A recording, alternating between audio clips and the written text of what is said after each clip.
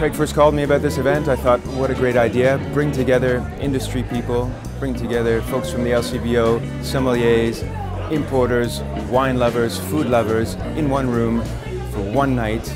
We use the draft format to actually uh, take turns uh, when we, we select wine, so there is uh, uh, no wine that is being repeated. We did, in fact, sit down with the chef, taste these dishes, taste through a number of wines, and select what we thought were the finest matches with each course. The beauty about food and wine pairing is that you never really know what you're going to get. Once the wine is picked by the other, it's off the table and kind of you have to uh, work with the rest of, uh, of the field, so to speak. We didn't always get our first pick with each course, but with the range that we had, we had a lot to choose from, so I'm very, very confident with all of the wines that uh, I'm going to be pouring tonight. John is a bit of a veteran of, of, uh, of the battles, plus uh, being master sommelier, that's his stock and trade, that's what they do.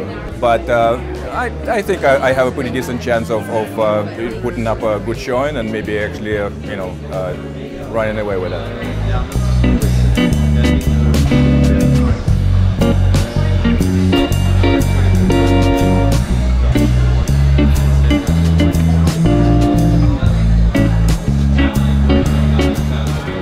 Are going to get up for each course and talk about the wine they chose to pair with that course. So it'll be their job to try and convince you that they're, they're the right ones. You will then have that course, taste the wine, and then vote on it.